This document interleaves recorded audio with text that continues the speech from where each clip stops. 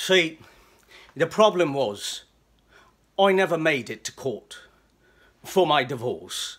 I, never went. I, didn't want to go. I didn't have to go. And my lawyer said, eh, but it was a mistake. Eh, you have to go to events like that. You have to be there. You have to be at your birth eh, to get the full effect. You have to go to funerals. Watch the body being lowered into the ground, being covered with dirt, shovelful by shovelful. Then you know. You know where the body is. In the ground, there's no doubt. You have to go to your own divorce.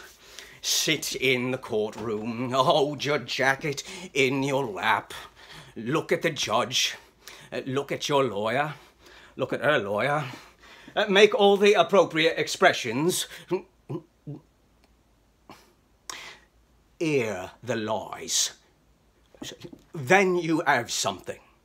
Then you have uh, pieces, uh, concrete pieces. I can't see it. I don't have my wife's face getting divorced. I never saw our marriage being pronounced dead. It's been a problem.